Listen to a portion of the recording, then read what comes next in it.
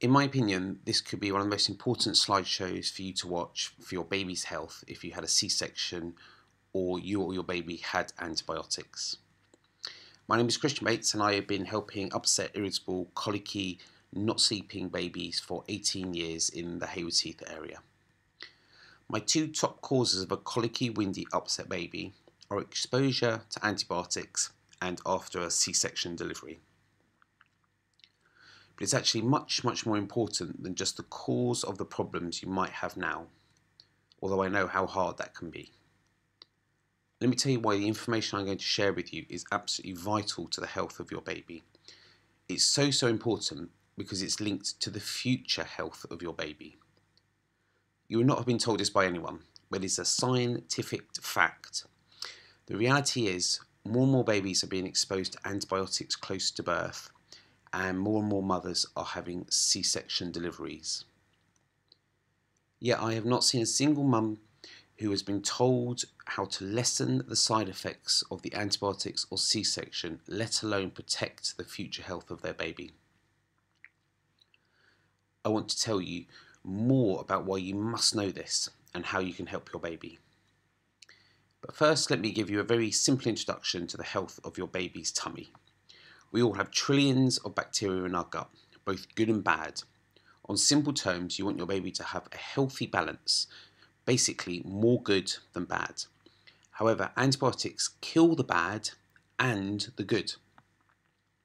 And a C-section stops the good from even developing in the first place. Babies pick up good bacteria from the birth canal, so in a C-section they miss out on this completely.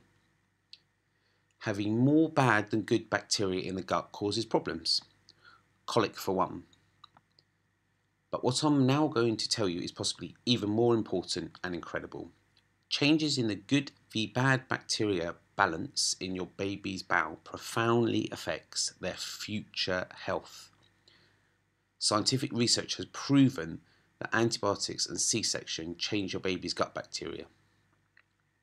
It is also proven that a change in gut bacteria like this causes future health issues for your baby, including food allergies, eczema, asthma, immune system problems, and even obesity. I'm not here to say you shouldn't have had your antibiotics or a C-section, but have you ever been told that you can do something to help afterwards? I doubt it. In fact, you're probably told antibiotics don't even pass through your breast milk to your baby. This simply isn't true. They do, and research has proven that too. So, on to the good news. A simple yet specialist friendly probiotic supplement given to your baby can correct the good vs bad balance of gut bacteria, both safely and effectively. Right now, it will help them if they are colicky and in the future it may help them against the other issues I've just mentioned. I personally use, use a probiotic called BioGaia Protectis for my baby patients. It's super easy to use as it's drops. Five drops once per day in the formula feed, or if you're a breastfeeding mother, you take five drops once per day and this passes the friendly bacteria through your breast milk. That's it. At the moment, this is the best way known to protect your baby's gut health after antibiotics or C-section. BioGaia Protectis costs only $17.99 including postage and packaging. But I also want to offer you a free gift valued at $9.99 that will help your health too. A nutritional guide for new mums based on my research into new mums diets and new mums eat really poorly. This is a really, really valuable ebook for you to learn how to improve your health and the health of your baby if you're breastfeeding. Simply purchase BioGaia Protectis from the link with this video and the PDF will be sent to you automatically for free.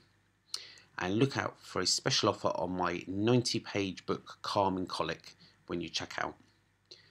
Thanks very much for listening.